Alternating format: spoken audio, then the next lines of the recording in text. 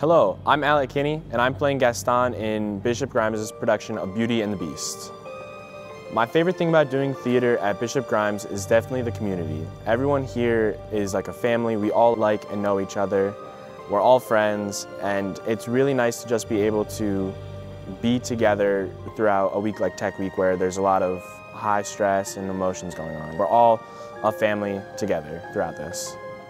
One of my favorite things about doing theater at Bishop Grimes is how our directors are able to help us. Miss Carter is great at helping us learn our songs, our lines.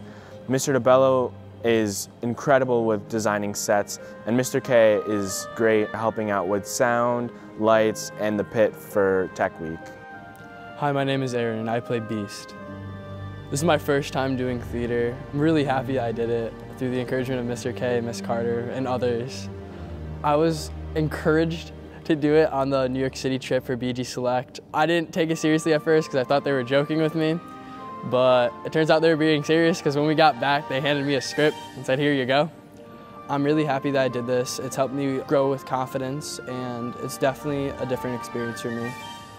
I also feel that it's brought me closer to the wonderful people involved with the theater program and the music and arts program.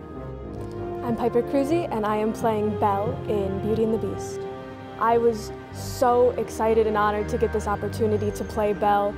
I auditioned not knowing if I would get it and then when I finally did, people just started congratulating me before I'd even had the opportunity to see the cast list.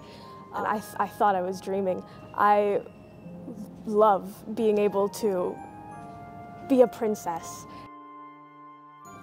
the Bishop Grimes Theater Department has really helped me just get a grasp of who I am on the stage. I've been in every show since my seventh grade year, and I really think that it's all the people putting in all the hard work that have let me be as successful as I am and helped me to have the courage to go on and pursue a music career.